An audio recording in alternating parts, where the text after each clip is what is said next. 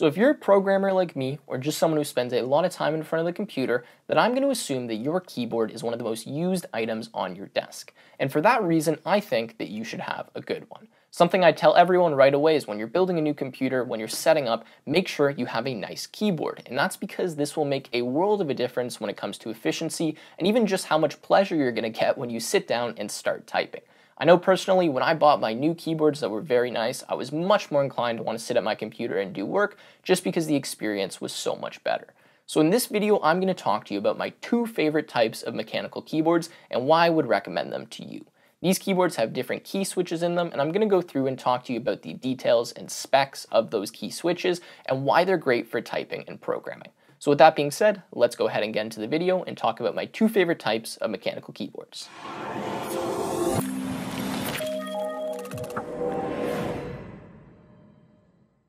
So I'll start by saying that there are many different keyboards and so many different types of key switches. The two that I'm covering here are typically the most popular. These are what people will highly recommend for typing and accuracy, and that's why I wanted to compare them because these are just the most popular switches and personally my favorite. So the first keyboard that I actually have to show you guys is this one. Now this is the DAS Keyboard 4 Professional with Cherry MX Blue switches. Now these are the clicky switches. I'll be showing you the audio and tactile feedback of these later on, but the next keyboard that I have is actually another DAS keyboard. This is the 4Q model that has the Cherry MX brown switches inside of them. Now DAS Keyboard was actually nice enough to send me over this blue model here that I'm going to be giving away at the end of the video for the purpose of reviewing it and doing a comparison between the brown keyboard, which I actually bought myself uh, a while ago. So DAS Keyboard has personally been one of my favorite keyboard brands. The link to both of these products will be in the description down below. And again, thank you to them for sending over this keyboard and giving it away to one of you. And I will talk about how that giveaway is going to work at the end of the video. So before I go into the details of both of these keyboards, I'm going to give you a very basic definition of the way that a standard keyboard works versus a mechanical keyboard. Keep in mind, this is a generalization and just meant to give you a basic idea so you understand the advantages of a mechanical keyboard. So with a traditional keyboard, the system that is typically used is you have a layer of key switches, you have actually three layers of plastic membrane below that, and to signal a key press, you must connect the top layer of membrane with the bottom layer of membrane, where the middle layer of membrane is simply sat there to separate the two layers so that they aren't already touching. So what actually happens when you press a key is you will press that key and there'll be a little hole in the middle layer of membrane that allows something to go down through that hole and connect the top layer and the bottom layer. Again, this is a generalization, but at that point, what will happen is an electrical circuit will be complete and a signal will be sent to the computer that says, hey, you pressed this key. Now the issue with this system is there's actually a limitation to the amount of key presses you can do per second, and that is, I believe, six on those types of systems.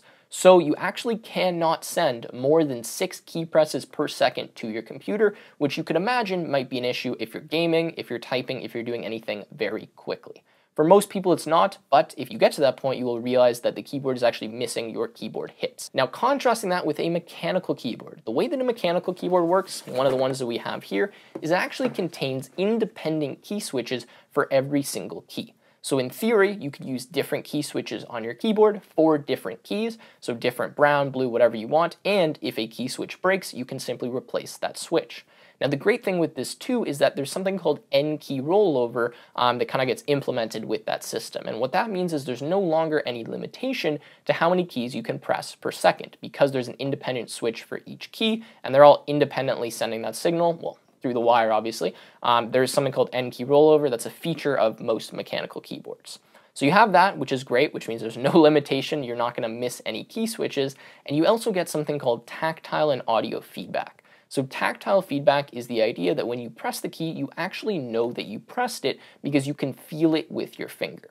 And you'll notice on a mechanical key switch that when you press it down, you can feel a point somewhere between the bottom out point and the top known as the actuation point. And at that point, you have officially pressed the key even if it hasn't bottomed out and hit the bottom of the keyboard. This is why a lot of people love mechanical keyboards because the actuation point um, gives you that feedback that yes, I pressed this key, so it's a lot easier to actually type when you're looking at the screen in front of you, whereas on another keyboard you might actually miss pressing keys and whatever, stuff like that, right? It's just easier, tactile feedback feels a lot nicer when you're typing. So those are the major differences. Now I'm going to talk about the two key switches here that I'm comparing, which again is the blue key switch and the brown key switch, and I'll give you an audio example and kind of talk through the actuation point and the details of that. Okay, so now we're going to go into the details and the uh, kind of specifics and statistics of both of these keyboards, and specifically the key switches. So let's start with the Cherry MX Blue switch. So on the DAS keyboard 4 professional, it has the Cherry MX Blue, and it even says on here, clicky typing experience. Now that is what the Blues are really known for, is their clicky and tactile feedback. So clicky, I'll play the sound so you guys can hear it.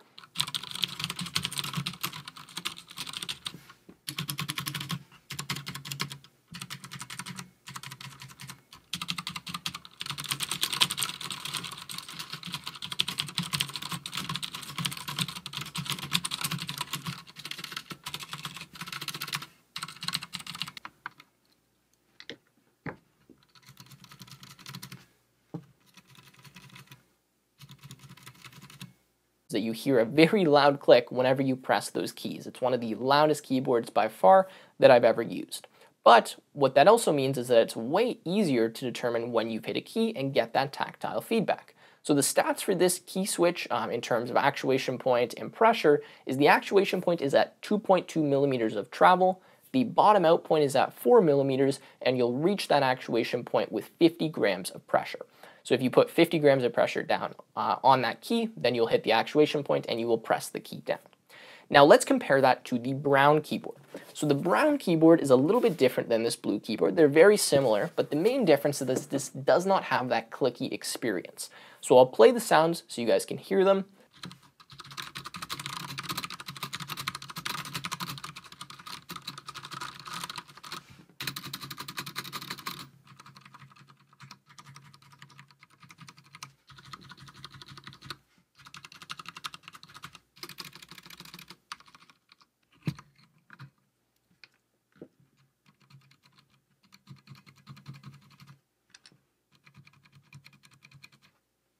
This keyboard has a much quieter sound. So it's still there, you can still definitely hear it, but it's more of a bump and a thud than it is a click like this blue keyboard. Now in terms of the actuation point in travel, uh, it's very similar to the blue. This has a actuation point at 2 millimeters and that requires 45 grams of pressure to reach and then it bottoms out at 4 millimeters as well and it's also rated at 50 million key presses as its lifespan. So they're very similar, but the massive difference between the two is that it's a little bit easier to hit this brown keyboard here to hit the switches and press them down than it is the blue, and that the blue keyboard that I have here is much louder. So I'll do the audio comparison with you guys so that you can hear the difference, and then we'll talk more about them.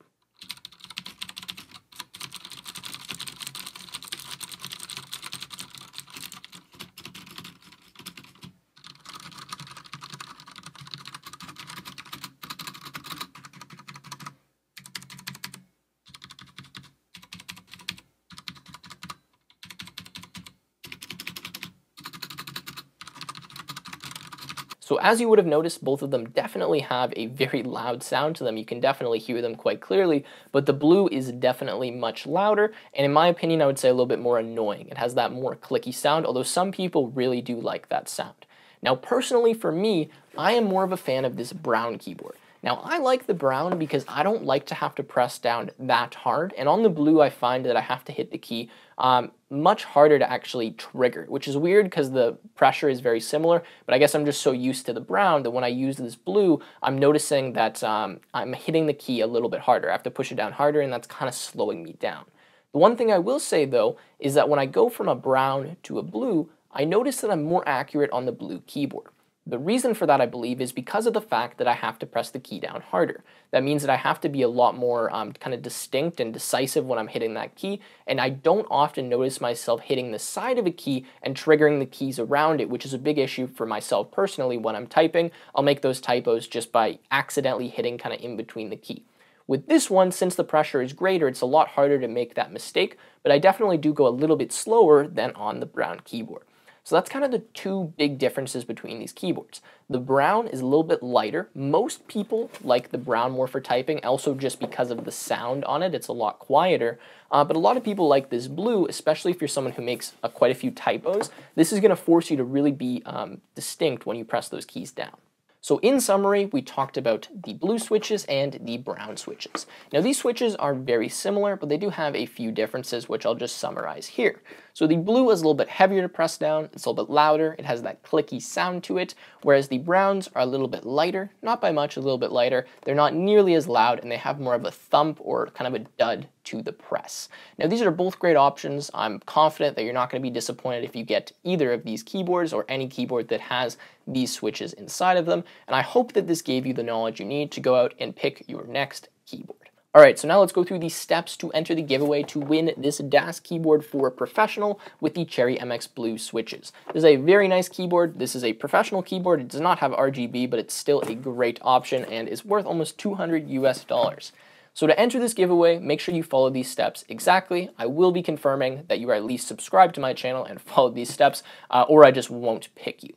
So how you can enter the giveaway is like the video, subscribe to the channel, leave a comment down below that says the words giveaway somewhere in it and has either your Instagram handle, Twitter handle, Discord handle, or email. Now, I don't want to encourage you to put your email there if you don't want to, but if you don't have any of those options and you still want to enter, that is fine. I will send you an email. Now, make sure if you put your Twitter, Instagram handle, or something like that, that you check your messages as you might be the winner. And approximately a week from today, I will reach out to whoever the winner is. I'll just randomly select someone and we will coordinate how I'm going to ship this keyboard to you. So with that being said, I hope you guys enjoyed. Again, thank you to DAS Keyboard for sending me this model, and good luck to all of you on winning the giveaway.